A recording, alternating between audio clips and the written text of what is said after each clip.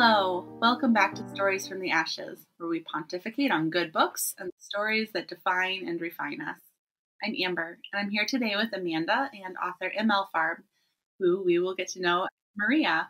Thank you so much for joining us today, Maria. I'm so looking forward to our conversation.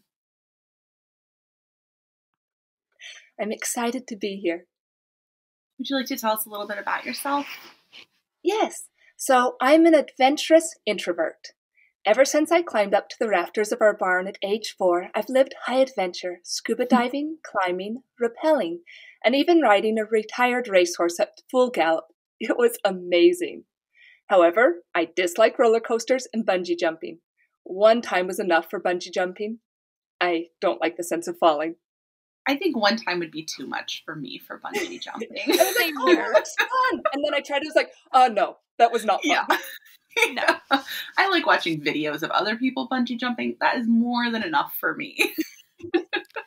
My husband would like to bungee jump, but he's not allowed to till the children are fully grown. Yeah. Mm-hmm. Solid, solid my plan. grandma, she wanted to go skydiving, and when she turned seventy, she was like, "I guess I'm too old. I guess I won't in no, this life." No, that's why you do it. That's yeah, at, exactly. At the end of your life. Yeah. so yes, I like adventure, but not falling. I also enjoy learning in all areas of life. I took calculus at a community college at, at age 14. I planned to go to MIT and become an astronaut. Plans changed in wonderful ways. Instead, I majored in English, married my sweetheart, and I am in the midst of raising our six children. They are my first and most beautiful stories. Oh, amen to that. That's awesome. I love that writing books or being an astronaut? I'm waiting for astronauts to land in some of your books, and then we'll see. Then we'll see the full circle come around there. so, what are some books that have been influential to you in your life? I have learned so much from Les Miserables. It has helped me deeply consider societal issues and my role in a world with no easy answers. I especially appreciate the contrast between Javert and Jean Valjean. Javert never really thought, but blindly followed, and when he was confronted with two irreconcilable choices, it destroyed him. But Jean Valjean was always thinking and weighing both sides and making choices based on his in depth analysis, both mental and moral. So, Les Mis is really high reading level. Did you start liking to read when you were really young, or did you always love to read, or did you just jump in at Les Mis? Oh no, it did not jump in at Les Mis. um, so I've always loved stories. Some of my earliest memories were lying on the carpet listening to my dad read, and he introduced me to some of these higher level stories. Um, we explored the worlds of Narnia and Middle Earth. We cried with Corrie ten Boom in The Hiding Place. And that one, that's another book that just has always had a special place in my heart. Um, we also did a lot of adventure books. We voyaged with the Kon-Tiki and to Grass Beyond the Mountains. I love true life um, stories that have these adventures and these surviving unimaginable things, but also people who just make choices to be good, like in The Hiding Place, mm-hmm. no matter yeah, what. My, my mom read a lot of Corrie ten Boom's books to me as a kid, and they are very powerful and formative books for I think anyone at any any age that they read them at. I obviously don't recommend most of them for young kids because they're pretty intense, but they're definitely they don't stop being powerful at any point. Who's your favorite author? Oh, I cannot pick a favorite author. There are so many good It's an unfair question. it is an unfair question. So some of my favorite authors are, in no particular order, Jerry Spinelli, Corrie ten Boom, Victor Hugo, Ralph Moody, C.S. Lewis, J.R.R. Tolkien, John Flanagan, and Linda Sue Park.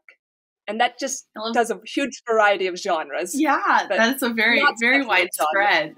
I was going to say, I like seeing Jerry Spinelli in with some of those others. I really appreciated reading Jerry's books when I was a kid. And I think the last one that I read was Stargirl when I was 20 or 21, whenever it came out. And then I just haven't I didn't read middle grade fiction for a long time after that. And then I started reading Spinelli's books again in the last year. And I was like, this is why I love Spinelli. I don't know why I took a break. I think that these are books I could have just kept on reading.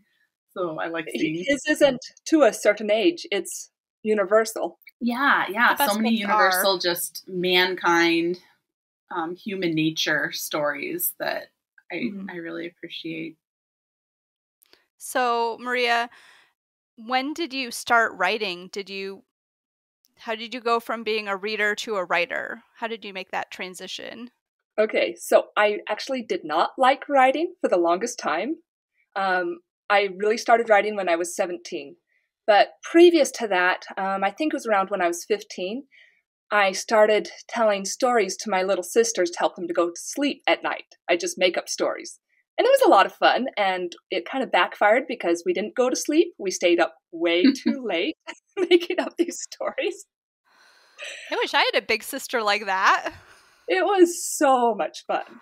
Uh, my first novel, The King's Trial, was born in those late whispered nights. So Halavant and Joseph, Galliard and Katrin, they were around when I was 15.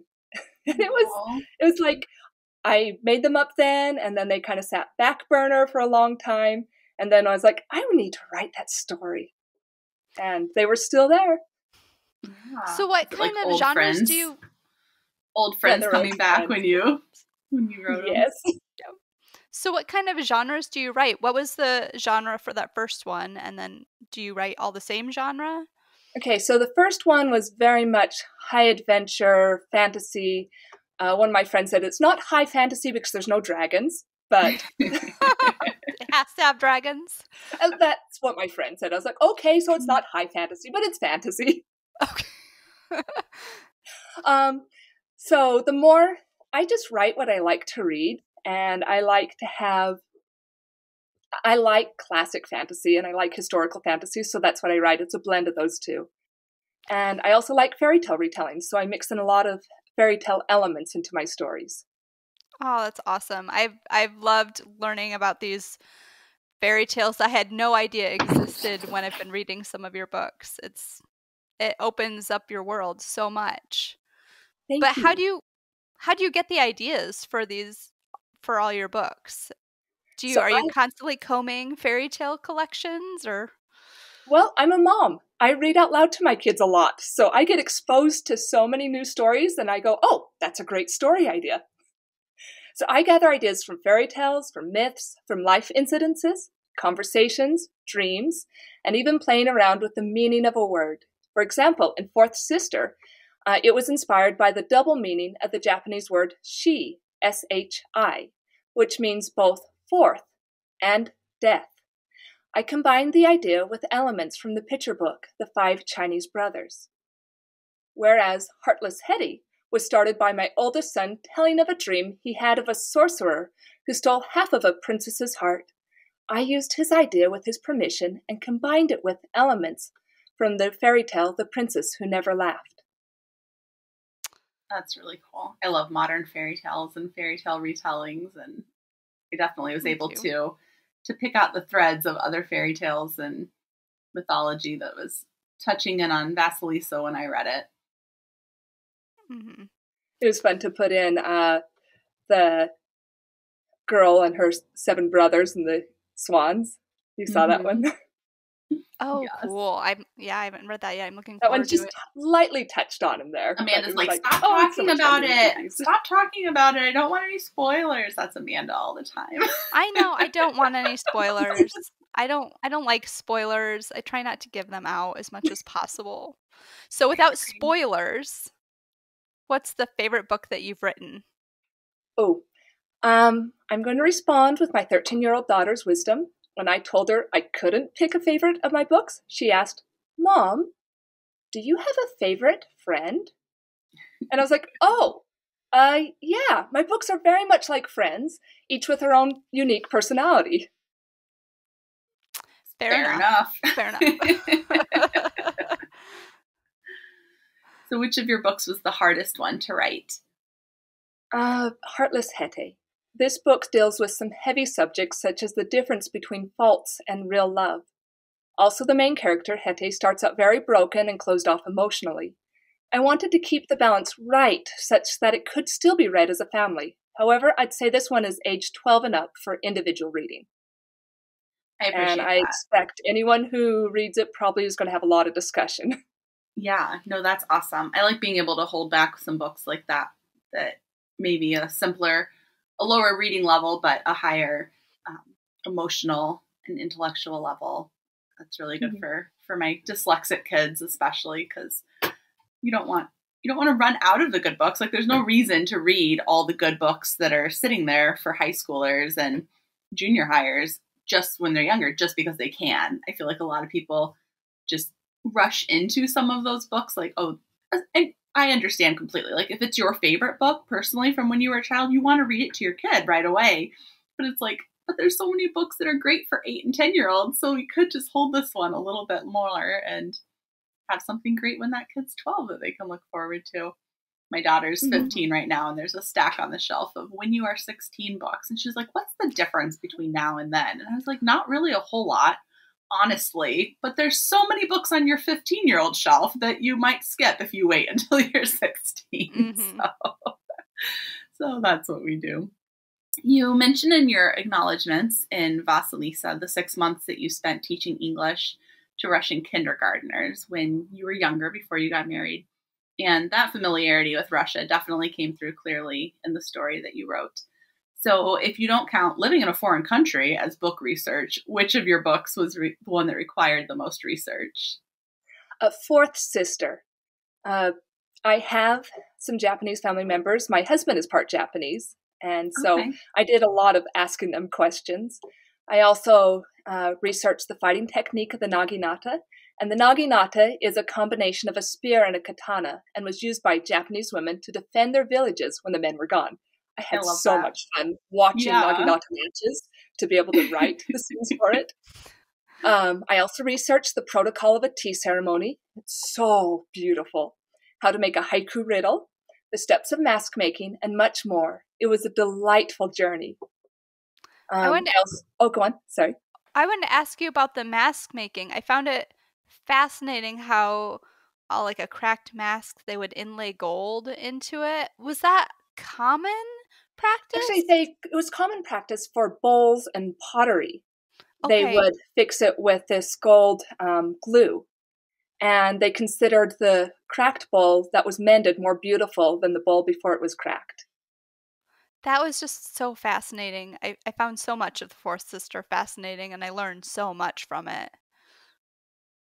Thank you. I I absolutely love the culture and I love the things that I can learn from any culture. There's beautiful things in every single culture that I can learn from.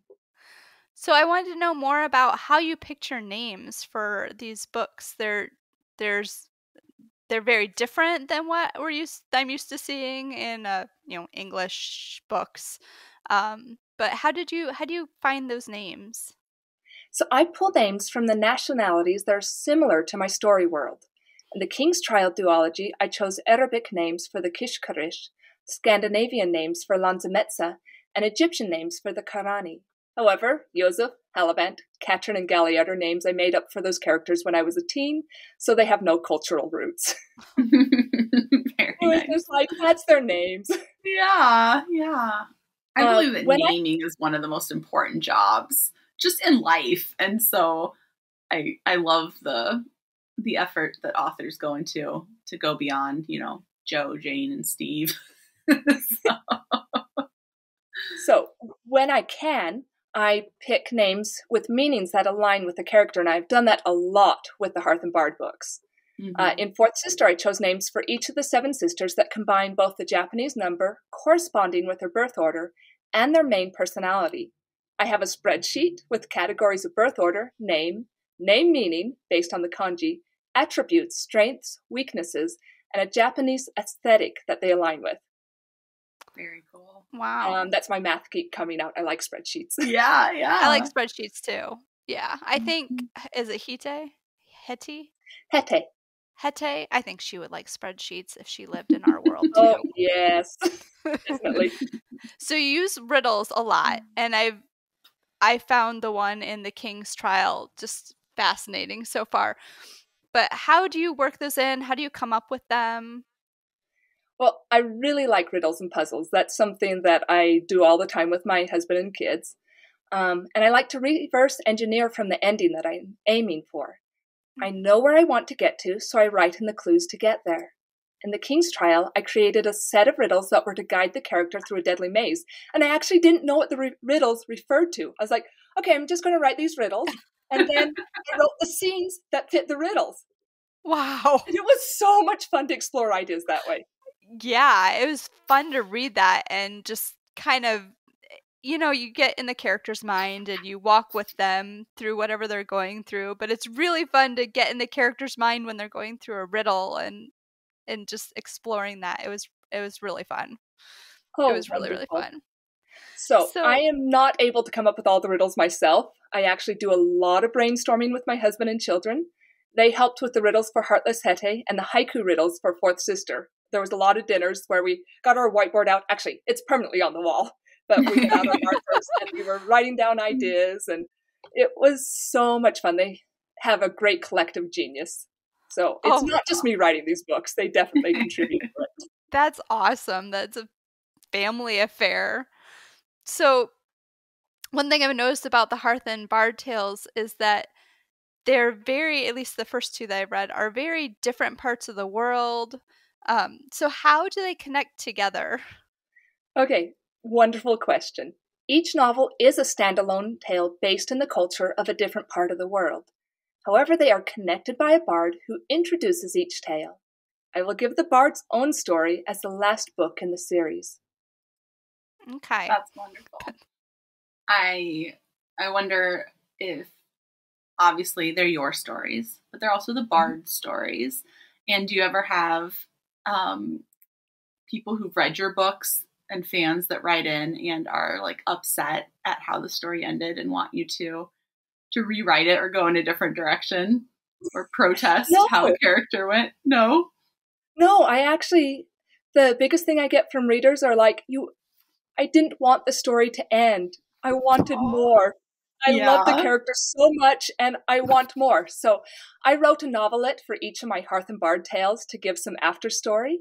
And I've also had uh, one reader who sent me pages of ideas for a third King Trial book because he really wants to see the characters again. He's like, When are you going to write a third book? And I'm like, I hadn't planned on it. And he's like, Please. Well, you always can later. Yes. Aw, that's awesome. Um, when you're writing, do you have a clear view of the ending? You were saying how you reverse engineer with the riddle sometimes, but do you have a clear end, clear ending in view when you start, or are there multiple paths that the story could take? Okay, so I often write the ending first. It becomes the target for the rest of my story. Then Start I write where the you're beginning, going. I like it. Yeah. and I then I write the beginning and mirror the two so it shows the completed journey and how the main character has changed. The in between, however, is in constant flux as I discover different ways to reach the ending. The most common change in the middle is the introduction of unplanned characters that enrich the story and help the main character to grow. Um, so, like in Heartless Hette, there's a character that shows up that I'd only planned on him being in that one scene. And after I had him in that one scene, I was like, wait a minute, he can't drop out now. He needs to continue on the journey with him. Wait, is it the is it the uh amphibian like character? Yes.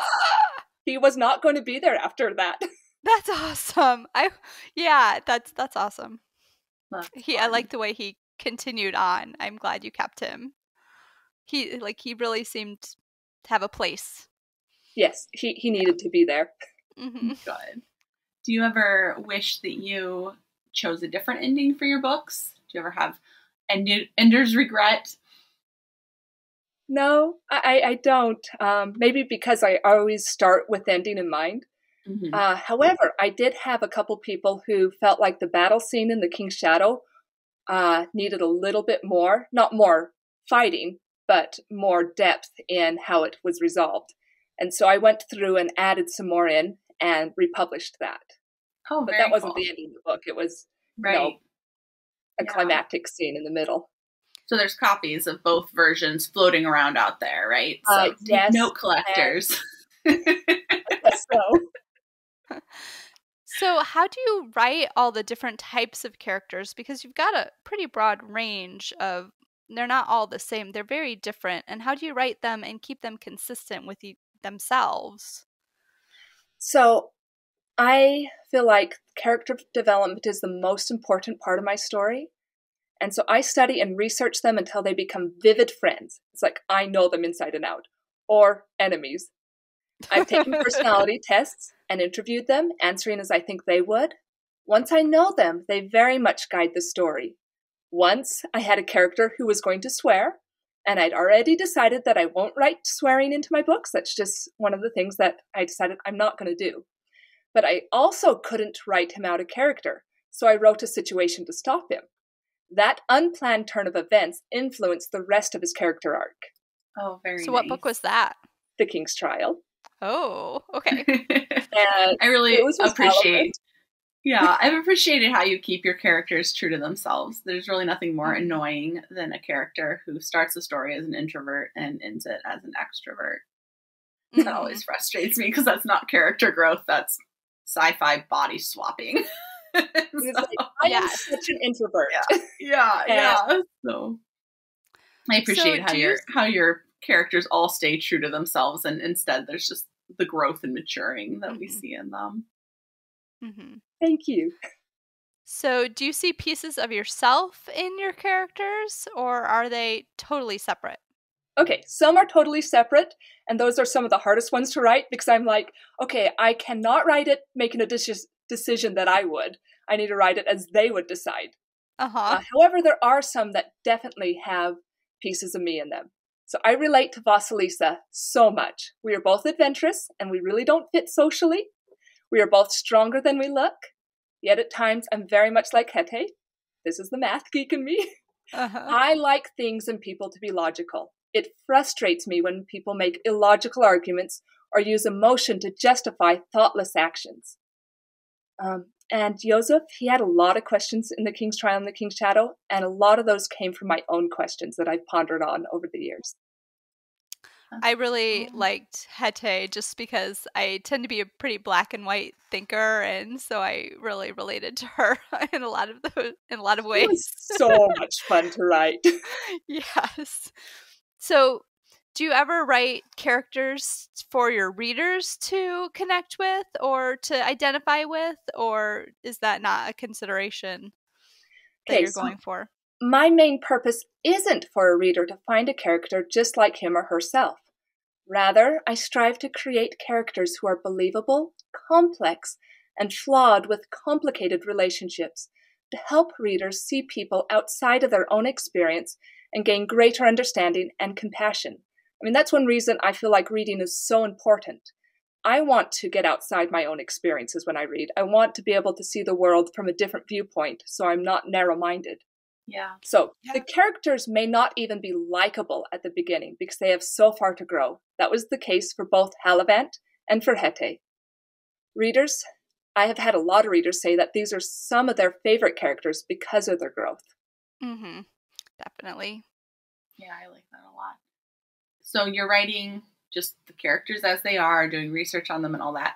Do you ever find that a family member, friend, or foe has slipped into your book? Okay, so my husband, who I absolutely adore, has actually inspired a lot of my male hero characters. Um, just different pieces of them. Yeah. uh, because everyone has lots of layers. So his sister asked after ri- reading Vasilisa, she's asked, "Did you base Staver on him?" And I was like, "Yes." We must be married to very similar people because that is part of what I loved so much about Vasilisa is I feel that my husband is very much a Staver as well. Yeah. Isn't Staver awesome? He is. He is. He's such a good guy. so, would you say that Staver's your favorite character, or do you have do you have a favorite? Do you have ones that you really don't like? um. Okay, so I really that's a hard one to answer. Um, I I really like all my characters. It's well, I don't like all of them. There are some that I really don't like. So I could spend just an hour on characters. I love Vasilisa's loyalty and Hette's no nonsense attitude, even when she's no longer heartless. Mhm. Um, Joseph's journey of faith and Halavant's growth from shallow royal. Um, Halavant feels like a little brother to me. He's like the one that I'm like, okay, I like you, but you really need to grow up. Uh-huh. um, I love Staver's sweetness, as we were talking about, Takumi's wisdom, Conrad's wit. I love the dynamics between the seven sisters. And I have several sisters and sisters in law, so I have a lot of experience of sister relationships. I Mhm. especially love the Sanaho and Shisei relationship, and I'm actually more like uh, Sanaho than Shisei. Uh-huh. It's funny. Um, even the side characters have captured my heart. So I'll resort back to my daughter's quip. Do you have a favorite friend? Yeah, I I really enjoyed reading the sister relationships in the fourth sister. I don't have any siblings, and I, it it provided a, a lot better view into what it would be like than than a lot of things I've read. So I, I really enjoyed that, and it made me wish I had siblings. Oh, I kind of felt like when I was writing this it was like writing Little Women combined with fantasy. yeah, Yeah. yeah, it definitely got that that feel for it. Um, as for hate, I try to make the villains complex, fleshed out people. So even though I disagree with their choices, I understand at least somewhat where they're coming from. Hmm I don't want them to be these cardboard cutouts that right. just have no depth. Everyone Yeah. has a motive. Yeah. Mhm. So you've talked a lot about the the growth that your characters take, which is wonderful. So what type of challenges are they facing in that journey? Okay. I like to explore difficult subjects within the safety of a story. It is one of my favorite ways to learn and to teach my children.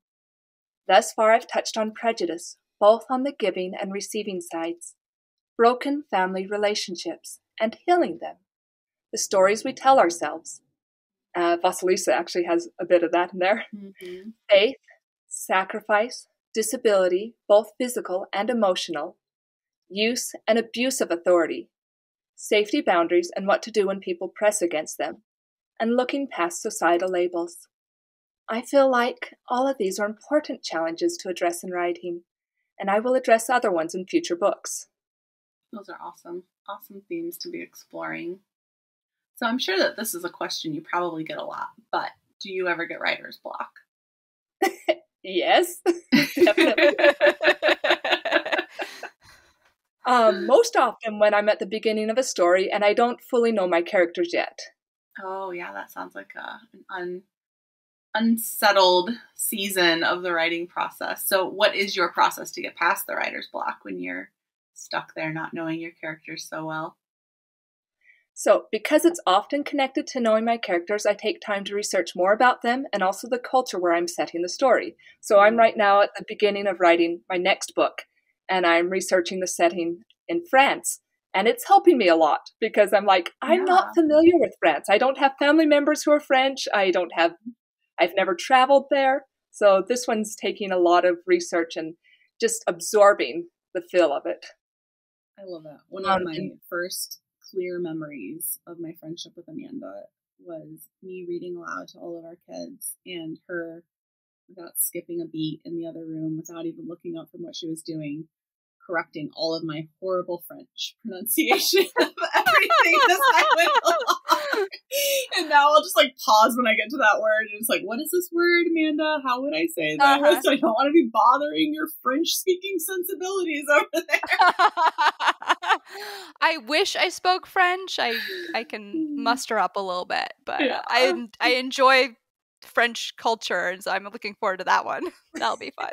Yeah. Well, I definitely will need someone to help me on the pronunciation because there are a lot of things that I'm like, I have no idea. They don't pronounce Mm. half the letters.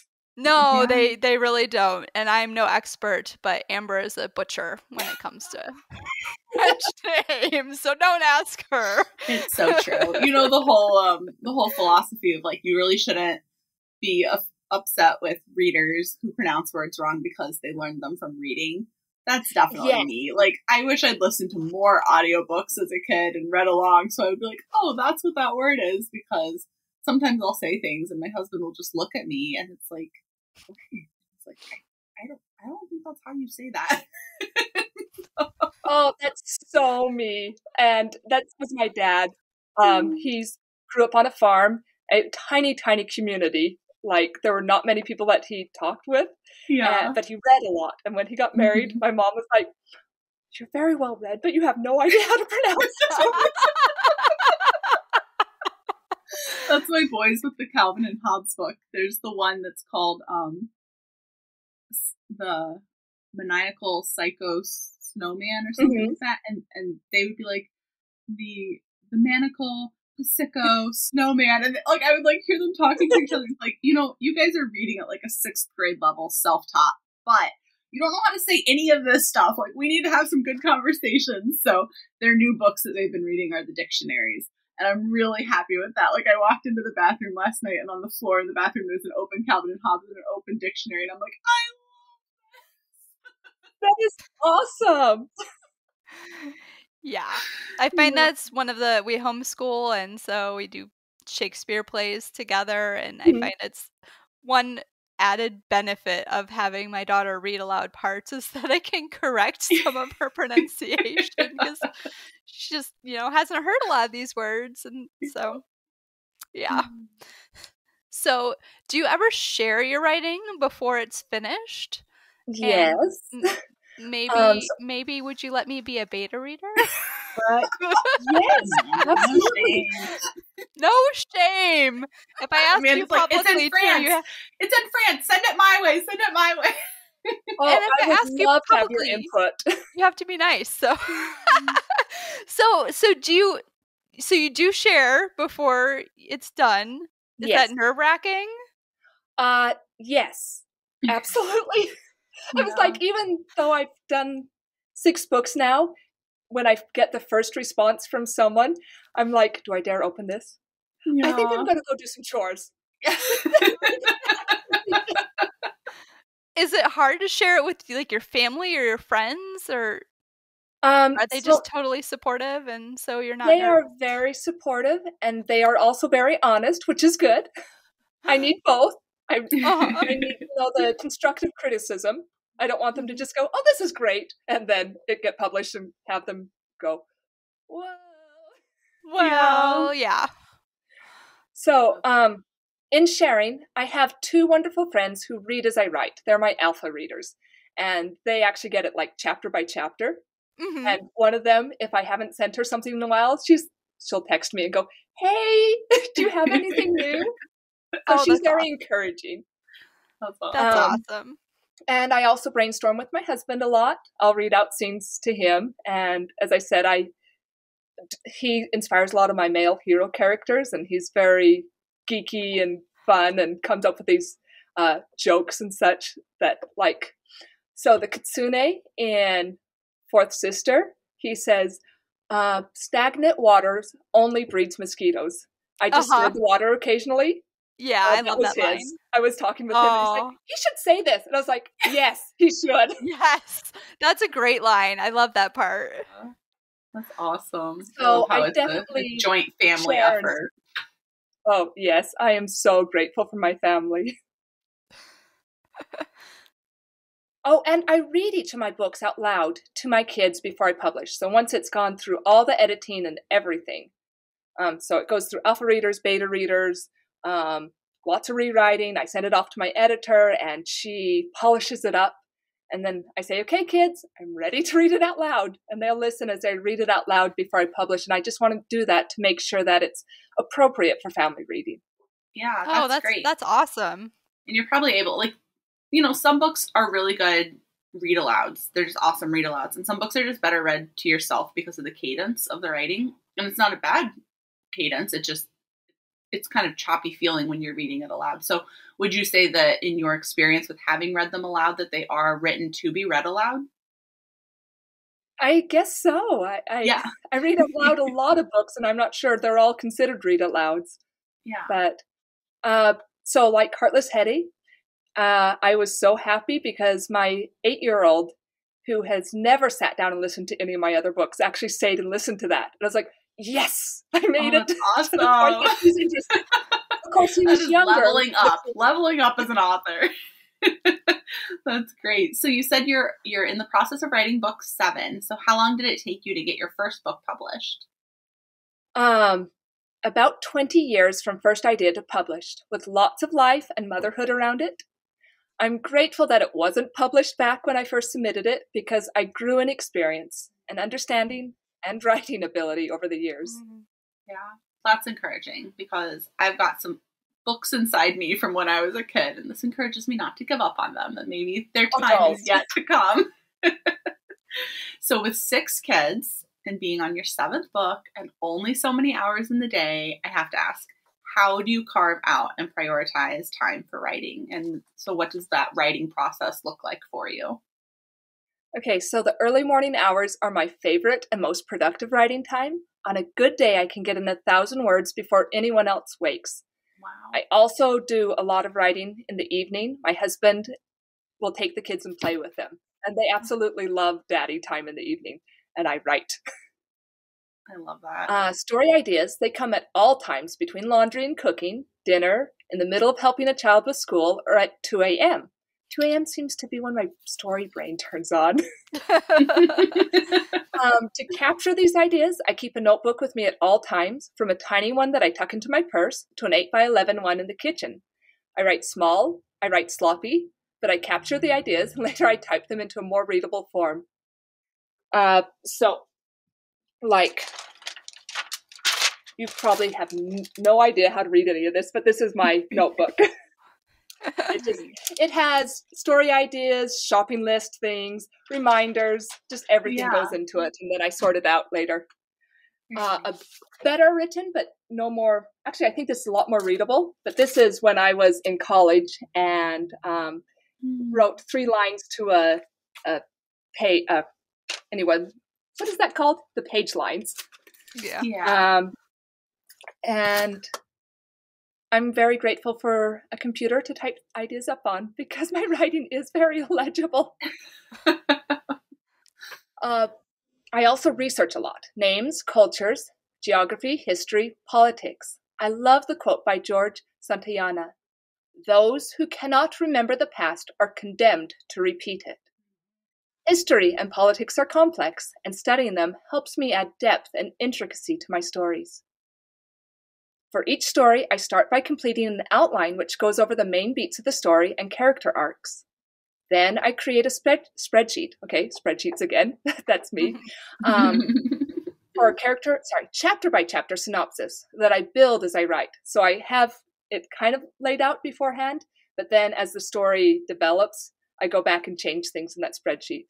It helps me keep track of the important elements without having it pages and pages and pages. Yeah. I love that. So, I I think I need like an entire wall because I'm so visual and like mm-hmm. even spreadsheets. Like if I can't see the whole spreadsheet, it's problematic for me. And so I think I would end up with like a whole wall, like whiteboard, and I would just like spiral out from the center and just keep adding connections. So I love so your we system. Have a whiteboard that is uh, six feet by four feet that we just recently put up on our kitchen wall. We nice. had to cut a hole in it for the light switch because that was the only wall that was big enough that. But you made it work. and yeah. I would totally do that for story things. In fact, that's where we do a lot of brainstorming as a family. We used to have a smaller three by two whiteboard. And now that we have this, the kids have filled it up with artwork. And I'm like, um, I guess I'll brainstorm on something else.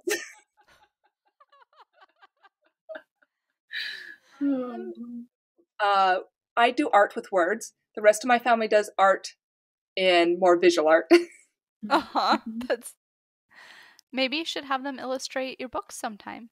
Uh, my oldest, my 17 year old, I think she will someday because oh, that'd be awesome. so good. That'd be awesome. So, ha- what do you hope that your readers will take away from your books? So, I want my writing to inspire the reader to think deeply, consider different viewpoints, and make changes in their own lives for the better. I want to open worlds, expose falsehoods, and present truths in beautiful and engaging ways that will pull the reader through the story and leave them pondering afterwards. Basically, I want the readers to get take away from my books what I take away from books that I love. I love that. So expanded worldview and empathy and those are really important things and it's can be hard to get without books because you just can't go mm-hmm. and meet as many people as as you can through literature. Yeah, especially in a post-COVID world where a lot of these kids haven't been around many people at all in the last 2 years. I feel like books have just become extra important for feeding feeding that need of exposure yes. to multiple views and experiences and locations. Mm-hmm. Yeah. So Maria, we. My... Oh, go ahead. Oh, sorry. I was going to say, though, I hope my children do get to have that sort yeah. of exposure outside of books too. I want yeah. them to make friends from many different cultures and backgrounds. Mm-hmm. Yeah, yep. absolutely. So we met through Reshelving Alexandria on Facebook, and you are one of quite a few in our community who have membership in the Church of Jesus Christ of Latter day Saints. And I would love if you would share with us how your faith has informed your writing. Definitely. Um, so, I am a Christian. I am a member of the Church of Jesus Christ of Latter day Saints, and my writing is influenced by my belief in a loving God who is very aware and involved in our lives. I directly address these ideas in The King's Trial and The King's Shadow. Readers who generally don't care for religious themes have commented that they felt the balance was right and that the books can be read as straight fantasy. In my Hearth and Bard tales, faith takes a lighter touch, but I still reference moral right and wrong. The belief in an afterlife and continuing relationships beyond death. For example, when a man is speaking with his wife before he enters a battle where he anticipates dying, he says, I'll keep the hearth warm and the pillows plump for you in heaven. I have to say that's from Vasilisa. I recognize that. And I choked up in that scene because I love literary modeling of long, faithful, loving marriages. And that was an mm. elderly couple who had already been through it in life, and that moment of um, of their saying goodbye to each other, I just, I had a real tear, guys. Okay, it just it is what it is. I, just, I just really loved them in that book, and I was I, for being side characters. I still felt that they got some solid solid exposure and we got to observe their relationship and their their deep love. I modeled them off my grandparents. Oh, Aww. I love that. That's fantastic. So besides the the battle scene that he was leaving for that you just referenced, do you have any other content considerations that you'd like to share with us? And for our readers, real quick, I just want to be clear that a content consideration is not a content warning, but instead it's just content that we feel that you may want to be aware of as you are weighing and determining if this specific book is the right book at the right time for your reader. And so that's that's what we're talking about when we are talking about content considerations. So besides battles and wars, do you have other content considerations? So all my books are written so I can read them out loud to my children, and thus mm-hmm. my books contain no swearing, sex, or gratuitous violence. I read each of my novels out loud to my children before I publish, but take this with a grain of salt. I read Les Miserables to them at the request of my oldest, who was nine at the time. Uh, she had heard the story of, of the bishop mm, and how he yeah. had given the candlesticks to Jean Valjean. And she was like, I want to read this book. And I was like, You're nine. Yeah. I'm going to read it out loud to you, and we'll go as far as you want to go. And we yeah. spent the summer reading it. That was our summer school. Oh, and amazing. my other kids, um, my son who was seven at that time, he mm-hmm. stayed and listened. And my five year old, she just likes to stay with family. So she sat there and listened to. And I was like, I did not expect to get very far. and we read the whole book. Oh, That's oh my goodness. Incredible. What a memory. Um, so it was amazing, that experience. So I did edit out parts. I did skip a few parts and we had a mm-hmm. lot of discussion. Yeah. We also read and discuss the scriptures together, including the Old Testament, which has many troubling stories. Yeah. uh-huh. um, so my books do contain serious topics that may be disturbing to children. Okay. Um, so yes, please see the content considerations. Yeah, that's great. That so sort of again, for our listeners, Maria has written thorough content considerations for all of her books for us, and you will be able to find them um, when you're done listening in our show notes. So those are there waiting for you as you're deciding if if these books are right for this time for the kids in your home or for yourself, I highly recommend adults be reading these too and not not just pigeonhole them into um, middle grade fiction or, or YA fiction. I think that I don't know. I I told someone last week that I just yeah, I told someone last week that I'm I'm really just tired of talking about children's books because I think that really it's books and then books that are appropriate for children to also read because if it's worth reading, Definitely. it's worth being read by everybody. So that's that's how and I feel about not, it. If it's only good for kids, it's probably not that good. Yeah, yeah, probably not so good enough for them. Lewis, in his dedication, um, I think it was in the line "The Witch in the Wardrobe." He says, "By the time I finish writing this, you'll probably be too old for ter- fairy tales, but um, then I hope at some point when you're old enough again for fairy tales that you'll enjoy yes. it." Yes, absolutely. Definitely. So Amanda was having some difficulties in the beginning with pronouncing some of the names and we were very grateful for pronunciation guides in the book. But Amanda, what what was your experience with with that? Yeah, I had I really struggled with the Oh, I still can't say it. Hette? Hette. I yeah. So can you tell us how you pronounce some of the names that are maybe a little bit trickier? Because yes, I prefer to hear them before I read them in the book and come up with my own pronunciation because I just kept calling her Hetty the whole way through. Yeah. okay, so um, German is not a language that I really know, but my husband lived there for two years.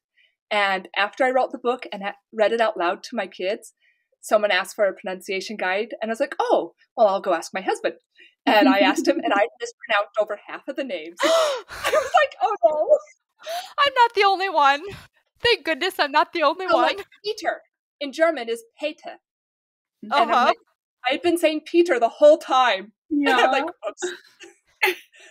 so uh, here's some of the names that people tend to get wrong. Oh, I'm much better at Russian and Japanese because I'm more familiar with that. Uh, we had a lot of Japanese exchange students when I was a youth. I family members who are Japanese um, in Russia. I lived there. So mm-hmm. Vasilisa is Russian. Um, I'm trying to think what other ones would be hard in the Russian one because they don't sound hard to me. Yeah. Well, the, the um, grandparents, how you say grandparents. Uh, And Baba. Yeah. Like babushka. Um, in Russian, they put a Y sound in next to other consonants a lot. Mm. Okay. Uh, for Japanese, there's shisei, ichia, sanaho. Um, I'm, I'd have to go through the counting numbers. yeah, just go through them. Just... Okay. no, that's good. And and like I said, you do have pronunciation guides in the books for parents that want to read aloud or people who are like, how do you say German this? was definitely German was the hardest for me. Yeah. Um, Hette, Peter, Demut, Georg.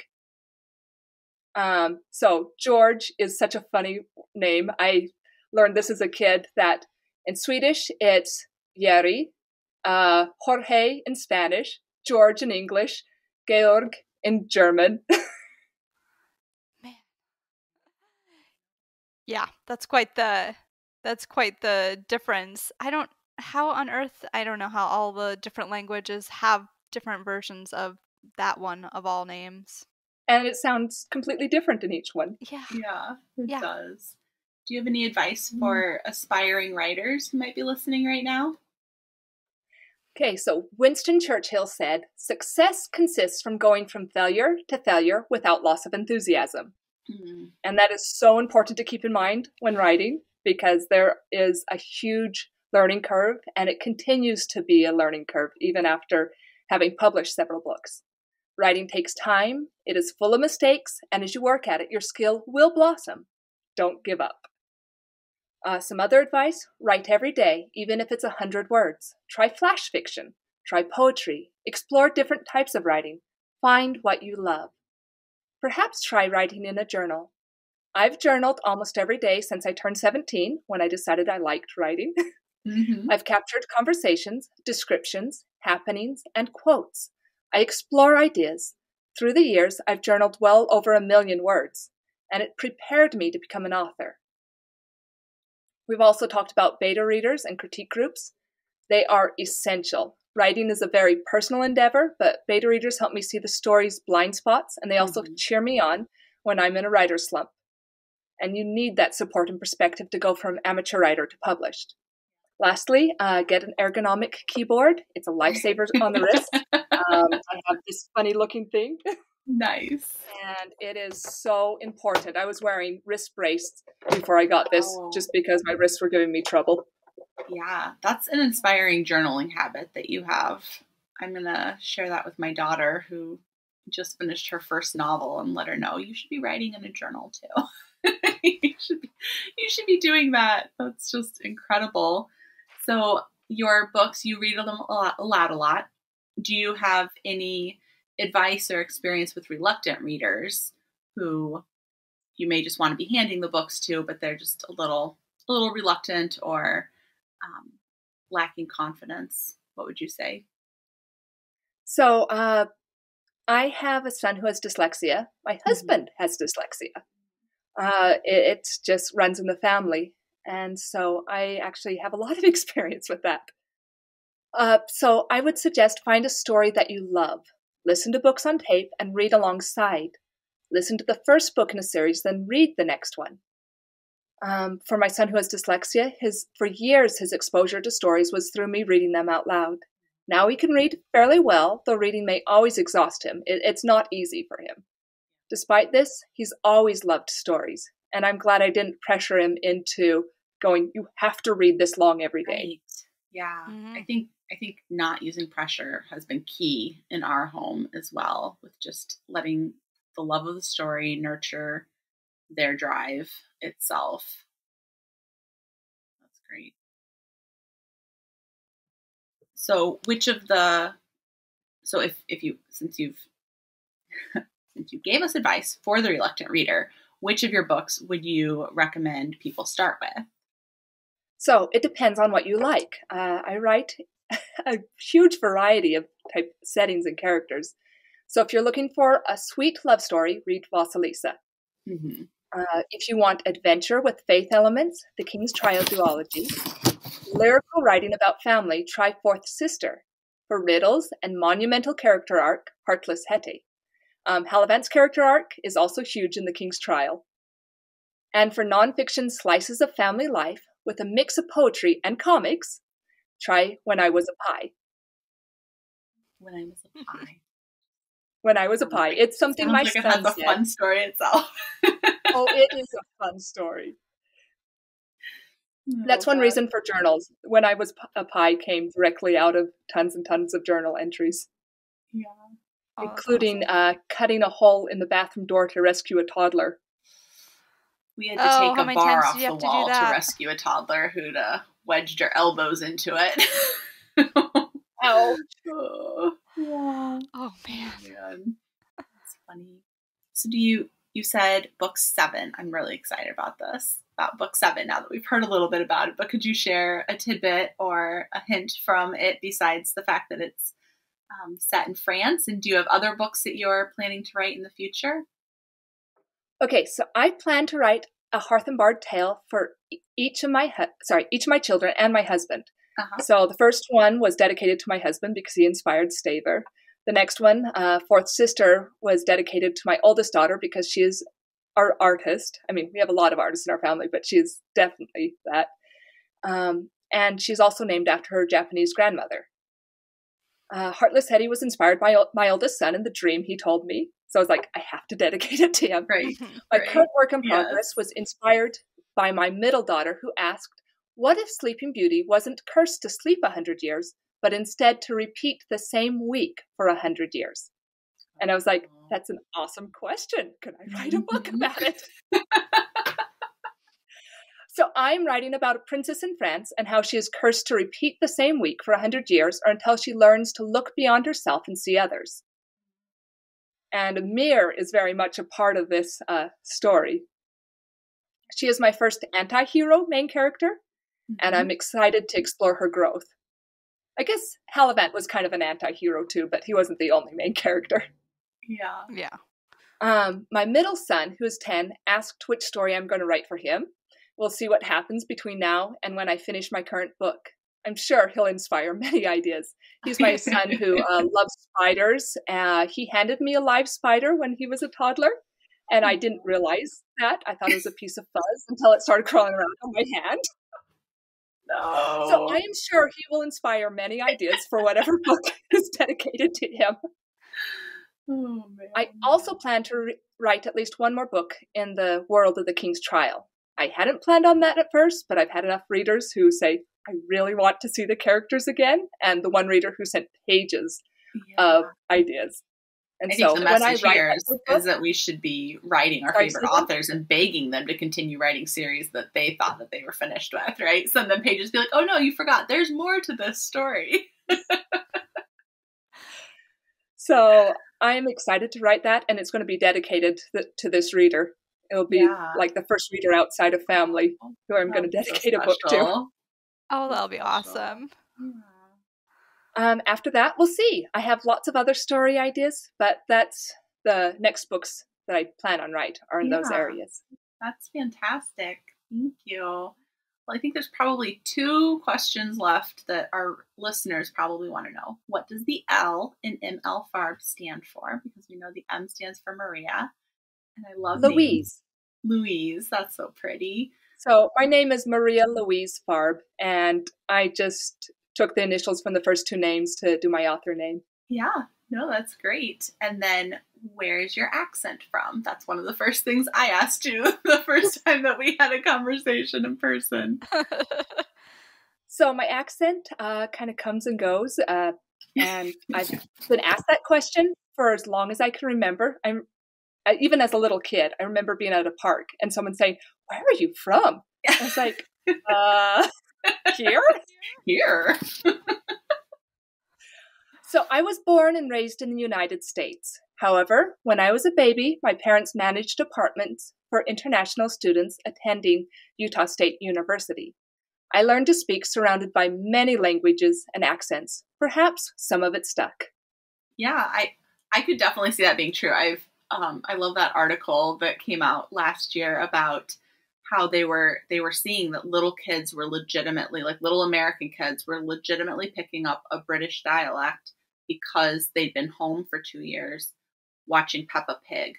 And so that was like oh, their wow. auditory input was Peppa Pig, and they came out of it with like a British accent. And I think that's so funny how like those formative years, what we are surrounded by, definitely can can carry through. I I hope they do a, a follow up study when the kids are like 16 and see if they've maintained any of it or if it's all reabsorbed. But I think it I can happen at any age. I went yeah. to college and in the Upper Peninsula of Michigan and came home with a slight Yooper accent my first semester. It happens at any age. And I picked up a little bit of a Russian one when I was mm-hmm. in Russia for six months. Yeah. Yeah. So, so in Russia, people thought I was from France. I don't know why whatever my accent was. I guess it sounded French to them. and someone say, "Ty goverish euh, uh, po francuski," and it's like, "Niet, ja goveru po angliski." So a melting pot. You have a Russian. melting pot accent, right? yes. oh, that's great. Well, thank you so much for talking with us, Maria, and thank you to our listening community for spending time with us today as we spoke with author M.L. Farb. And links to all of Farb's books that she's written so far can be found in our show notes. And we'd love to hear from you after you've had a chance to read one or six. And we'd appreciate if you subscribe and leave a review and check out the giveaway that we're currently hosting, which details of which are also in the show notes. So remember, my friends, the stories are truer than true, and we will see you next time.